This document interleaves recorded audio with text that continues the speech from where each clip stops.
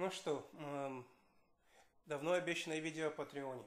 Почему Patreon? Потому что вот я специально сейчас, сегодня, включил монетизацию на своих 888 видео, просто показать, что YouTube делает. И у них, реально говоря, идет война с оружейными блогерами. Конечно, я там не считаюсь, потому что масштаб совершенно не тот. Но очень многих блогеров ставят сейчас с ним страйки – то есть по принципу, что вообще эм, один страйк – это предупреждение. Два – это запрет на публикацию новых видео на две недели. Три э, таких вот э, замечания, скажем так. И они вообще удаляют канал с YouTube. Причем причин и очень часто правил, по которым это происходит, YouTube не делает. У меня такого, к счастью, нету. У меня есть другой вариант, как бы помягче. Они просто отключают монетизацию – на видео, которые с их точки зрения считают не подходят для большинства э, продавцов или ну, тех, кто подает рекламу на YouTube. Ну вот, я сейчас просто включил монетизацию на своих видео.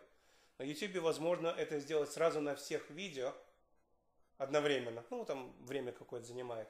И вот смотрите, сколько видео у меня резко стали недоступными для монетизации. По причинам мне совершенно непонятным.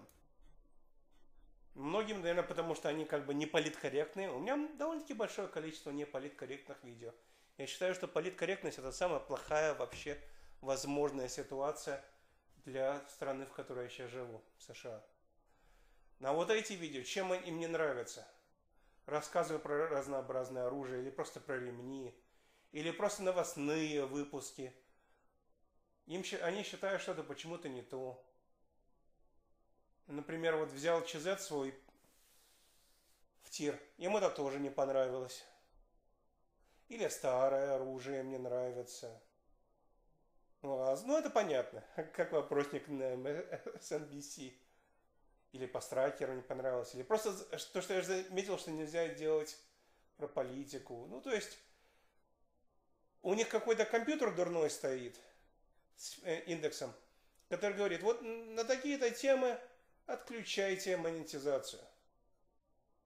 Ну и, соответственно, как вы понимаете, да, конечно, из моего количества видео это мало, но это, это только за буквально последние пять минут то, что произошло.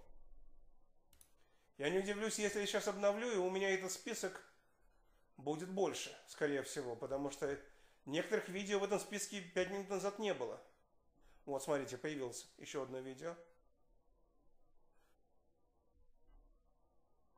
добавили в список еще одно неразрешенное. Ну, то, другими словами, те, кто зависит от монетизации на YouTube, оружейные каналы, никаких денег с этого получать не будут.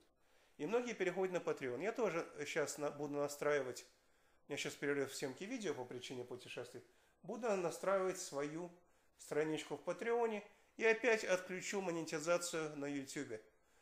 То есть э, Учитывая, что, в принципе, у меня и так никакого дохода не было с YouTube, по крайней мере, за 20 с лишним года. Уже почти 3 года я заработал, по-моему, 300 долларов.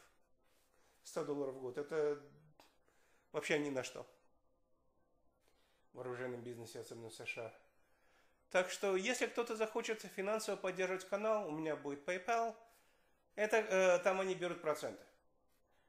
Ну и еще есть Patreon. Будет Patreon настроен, сейчас он пока особенно не настроен. И как только он будет настроен, я вам его покажу и расскажу более детально. Так что те, кто захочет, по-моему, Patreon лучше, чем PayPal, потому что тоже противоружейная фирма. Они не разрешают покупать оружейные вещи через PayPal.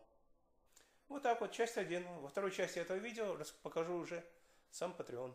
Спасибо за внимание.